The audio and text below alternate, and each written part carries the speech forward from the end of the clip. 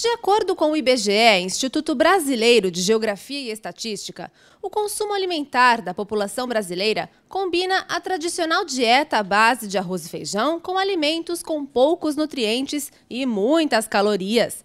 A ingestão diária de frutas, legumes e verduras está abaixo dos níveis recomendados pelo Ministério da Saúde para mais de 90% da população.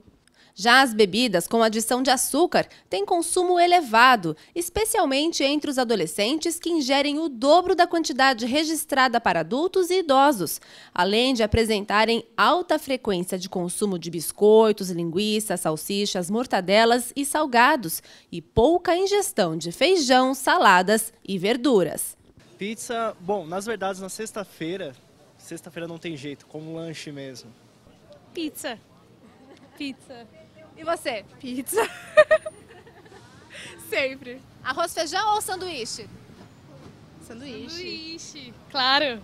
A ingestão de alguns componentes de uma dieta saudável, como arroz, feijão, peixe fresco e farinha de mandioca, diminui à medida que aumenta o rendimento familiar. Já o consumo de pizzas, salgados fritos, doces e refrigerantes se eleva. Um suco de limão ou um refrigerante? Refrigerante. Refrigerante normal ou um zero? O que você prefere? Zero. Zero. Sem calorias. Sem calorias. Entre os percentuais de pessoas que ingerem determinado nutriente em níveis abaixo das necessidades diárias ou acima do limite recomendado, destacam-se o excesso de gorduras saturadas em 82% da população. O excesso de açúcar é consumido por 61%. Já a ingestão de fibras está bem abaixo das necessidades diárias, ficando em 68%. É para trabalho, faculdade, escola, filho, em primeiro lugar, né? Aí a gente acaba optando em comer o que dá para comer naquele momento. Você utiliza alimentos integrais?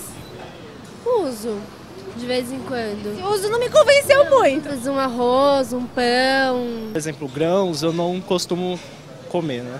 Tem o costume de comer grãos? Não, não, não tenho costume. Você come bastante alimentos integrais? Mais ou menos. E alimentos integrais, você gosta? Não, não como nada.